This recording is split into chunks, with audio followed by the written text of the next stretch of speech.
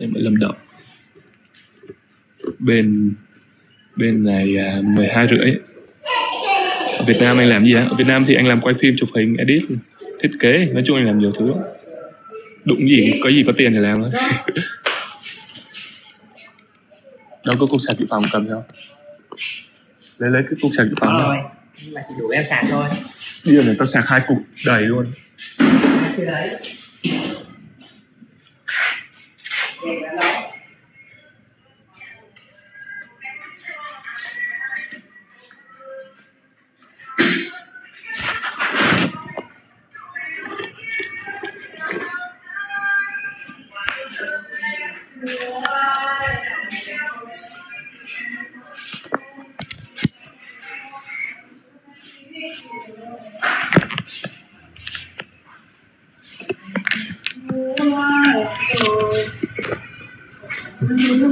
Lôi ơi nó gầy cái chìa khóa đi là ăn đấm đó Đó. cầm Rồi. Konnichiwa Phải đi đâu rồi? Phải đi tam để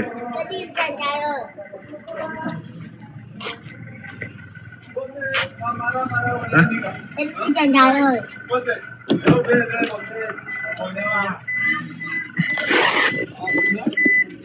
Wow, nóng rồi. Nóng kia. Lên một cái.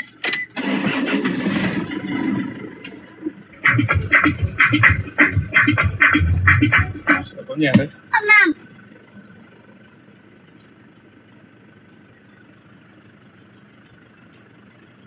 Lần đầu tiên gặp cô giáo Thì ngại Ngại thôi. Hồi hộp. Này, Bên này trời đang sắp mưa rồi Âm u âm u Chú, chú, con đi à? Không. Chú đu con đi.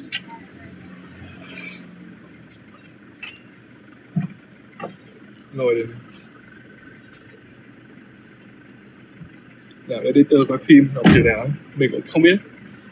Nếu mà mọi người muốn học nhanh ấy mọi người nên ờ, đi đến mấy studio ấy nào mà uy tín ấy đào tạo học viên ấy mọi người học ở đấy cho nhanh tầm năm thôi là đi ra ngoài làm được. Còn lên trường. À? vâng.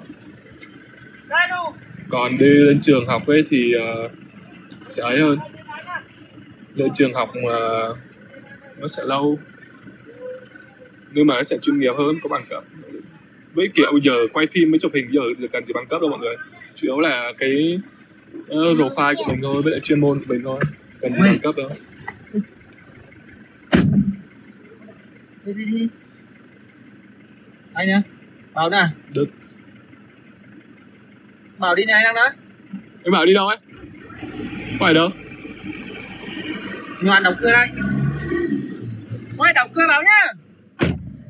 Đóng cửa đây. Đang cơ đây. Để Đóng cửa đây nhá. Mình đi ờ, quay đây. Vô